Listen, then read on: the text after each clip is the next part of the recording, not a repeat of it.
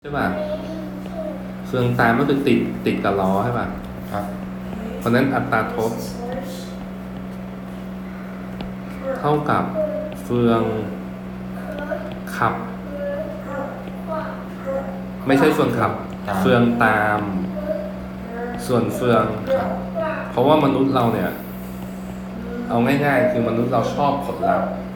ใช่ไหมไอ้เฟืองขับคือที่เราถีบ เฟืองตามคือผลลัพธ์คือติดล้อ เพราะฉะนั้นอัตราทดเลยต้องเป็นตามส่วนขับเอ่อสรุปครูก็ไม่ได้สอนผิดหรอก แต่ครูสลับเลขไปหน่อยหนึ่งตอนที่ใส่เลขนะฮะโอเคเพราะฉะนั้นข้อสี่ทำได้แล้วแหละครับข้อ 4 บอกว่าต้องการสร้างเกียร์ที่มีอัตราทด 1.5 โดยที่มีเฟืองตามเท่ากับ 60ซี่ เพราะฉะนั้นข้อ 4 ก็คือ 1.5 เท่ากับ 60 ส่วนตัวขับ ปกติแล้วตัวที่เราไม่ทราบค่าเราให้ค่าเป็น x เก่งมาก เราก็ย้ายค่า x มาอยู่นี่คำตอบก็คือ 60 ส่วนจุดห้า1.5ได้เท่าไหร่ฮะได้มากกว่า 60 หรือน้อยกว่า 60เราคิดเลขดูกันละ60 ส่วน 1.5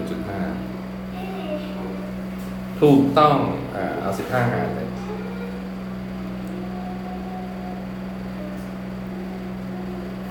จบ ข้อไหนขึ้นต้นที่ข้อหนึ่ง4 เสร็จเรียบร้อยเห็นไหมเพราะนั้นหลักการเนี่ยเวลาที่เราเริ่มคิดเลขเนี่ยเราอาจจะยังไม่ต้องคิดหมดก็ได้เราแอบดูช้อยก่อนคิดได้สี่ข้อไหนต้องขึ้นด้วยสี่ข้อนี้ตอบเลยครับสิ่งที่สำคัญในการทำพวกนี้ครับ ไม่ใช่ว่าคิดเลขต้องเสร็จ คิดเลขไม่ต้องเสร็จก็ได้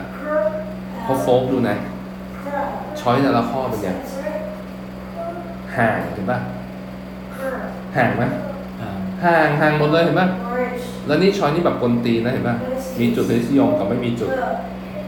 นะฮะซึ่งเราดูก็รู้แล้วว่าเลขมันเป็นไง